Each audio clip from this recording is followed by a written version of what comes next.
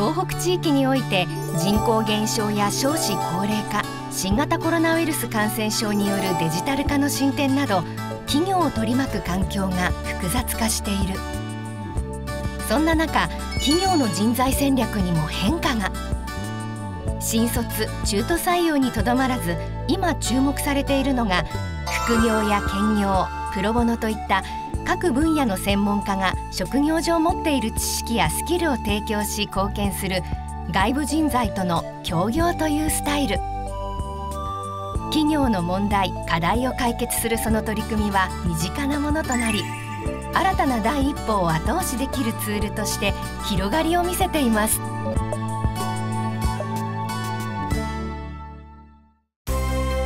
真っ赤に実ったリンゴここは全国のリンゴ生産量で6割を占めるリンゴ王国青森県。中でも有数のリンゴの産地津軽地方に位置する平川市で昭和23年に創業した株式会社マルジンサンアップル。我々はですね、えー、リンゴ輸出業といいまして農家の皆さんやえー、産地市場がございますが、えー、そちらの方からリンゴを買い付けしまして冷蔵庫で保管して、えー、それを、え選別し、え全国各地や、え海外の方に出荷するっていうそういう業務を担っております。青森りんごはですね高実と違うところは産地市場があることとあと我々りんご業者農協さんももちろんあるんですがえー、そこと、えー、シェアを半々ぐらいなんですよね。民間が頑張ってるので、えー、生産者の皆さんの手取りっていうのがかなりいいんですよ。ですので、えー、数字で見ましてもりんごの栽培面積っていうのはそんなに減っておりません。そして収穫量もほぼ一定になっています。日本一を誇るりんごの産地でもこんな課題が。今75歳以上のの農家さんがですね、えー、もうすでに2割ぐらいいらっしゃいますので、え、その方たちが10年後って言いますと農地の継続っていうのは厳しいものになっていきますのでやはり後継者不足っていうのがこれから顕著に現れてくるものだと考えています。もう我々自身がですね、え実際に生産の方に携わっていかなければもう将来は厳しいよねという考えになりました栽培するだけじゃなくて地域の皆さんを巻き込んだりですね、えー、地域でりんご作りに興味ある方そしてもちろん日本全国でですねそういう方たちをですねお手伝いしながら仲間を増やして収穫量っていうのを減らさないように努力したいなと思って進めています。そうした活動を続ける傍ら人材確保のために活用したのが外部人材です。そのきっかけは？もう農業法人を立ち上げたいんだと。でも、え、どのようにしてやっていったらいいのかっていうのは全くわからないと。もちろん同業者にも先進事例がありまして皆さんからは、え、お話は聞いてたんですけれどもなかなか厳しい部分がありました。一番大事なのが私と一緒に思いを一つにして、え、歩んでくれるそういう右腕というようなそういう人材がいなければいけないと。はい、ですので、えー、プラットフォーム青森さんには、えー、仕組み作りから、えー、その人材を発掘するまでのアドバイスをまずはいただきました。アドバイスをしたプラットフォーム青森の米田理事長に話を伺いました。農業生産法人を作ってうんと、リンゴの生産に取り組もうっていうことをまず大きなテーマとしてあの笠井さんっていうか社長は持ってらっしゃったんですが、えー、実際の自分たちの事業もあり、えー、その他のこ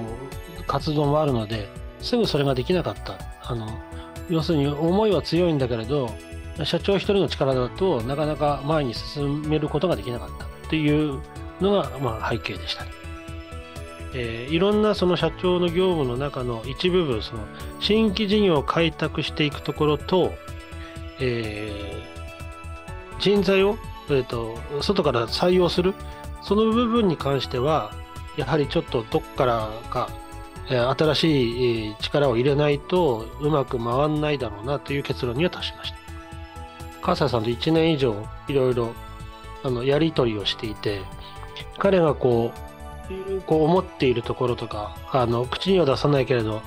えー、気持ちとしてはこうだなみたいなことはなんとなく理解はできていたので笠井さんの右腕を探すため外部人材として活躍したのが青森県出身で東京から U ターンをした小笠原さんでした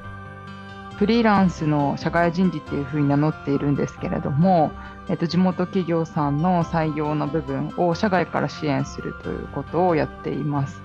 えっと、マルジンさん、アップルさんとのつながりもそのような、えっと、形の中で、選果場を動かすっていうあの業務と、えーと、中でそのリンゴを売っていくっていう部門にまあ大きく二分されるんですけどそのリンゴを売っていくっていう方の、まあ、営業のポジションであの1人採用したいんだよねっていうことを最初に言われてそこの採用活動に取り組んだのがあの、まあ、スタートの話だったかなと思います。人材のですねマッチングを図るそういうお仕事をされていらっしゃったのでえー、いわばその私の右腕をさ、えー、見つけたいっていう、えー、そういうお仕事をですね買って出てくださったっていうことになります。この営業のポジションを外部からその採用するみたいなことはやったことがなかったんですけれどもでもまああのできるかもしれないからやってみましょうみたいな形であの初めて取り組ませていただいてでそれであの入社した方が当時あの26とか7歳ぐらいの方だったんですけれども今そこからあの入社された3年ぐらい経ってなんか社長の右腕みたいなポジションで活躍されています。えー、右腕を募集し終わった後もですねあの実際に社内で研修していただいたりですとか、えー、個人面談していただいて、えー、今のスタッフのみんながどういうことを考えてるのかとかそういうのも踏まえてですね、えー、私今考えるとその右腕として新しく入ってくれるパートナーが入社する時に既存のスタッフたちの意見もちゃんと自分が理解してした上でもうマッチングを図るみたいなですねそこまで考えていらっしゃったのかなと感心しています。えーとまあ、外部の人間だから話せることみたいなのが結構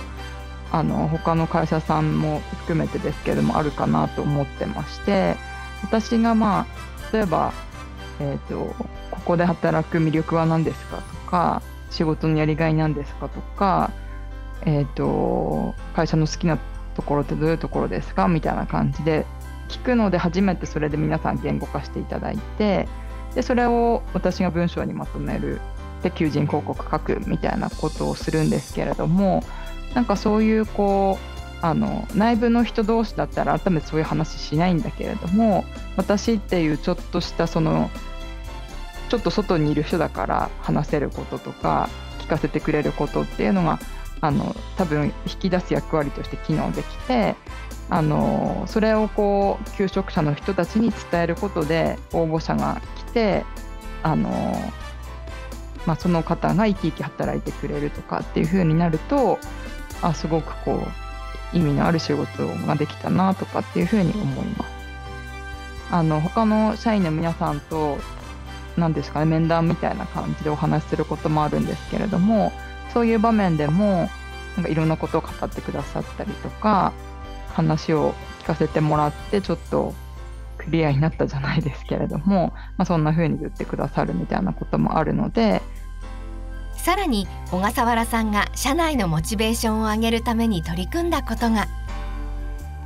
作り上げたのが社内の社員評価制度設計。入って間もない子たちはどのレベルまでいけば1段階クリアですよねじゃあ主任級になるためには、えー、こういう仕事ができたら主任級に当てはまるよねじゃあ係長級校だよねとかっていうのをですねスタッフのみんなから意見を出し合ってみんなで作り上げたんですよ。そうすることによって、えー、スタッフたちが目指す方向性っていうのははっきりしましたよね。自分たちの意見ですから、えー、そういうこともお手伝いいただいたんですよ。老舗の地元企業が踏み出した大きな一歩。青森りんごはですねもう100年以上の歴史がございます、えー、その間ずっとですね我々の先人たちがりんごっていうのをもっと良くするために、えー、世界に通用するぐらいのレベルに持っていくためにたゆまない努力をされてきたと思います。ですから彼らの技術とそして思いをですねしっかりと次世代へ継承していかなければいけないと思っておりますし是非やってみたいと。そういう思いのある方にはお手伝いをしてですねしっかりと後継者を育てていきたいと。そのように思っております。それがひいては青森県のりんご産業を守ることにつながりますので、えー、それを常に頭に置きながら日々業務に励んでいきたいと思います。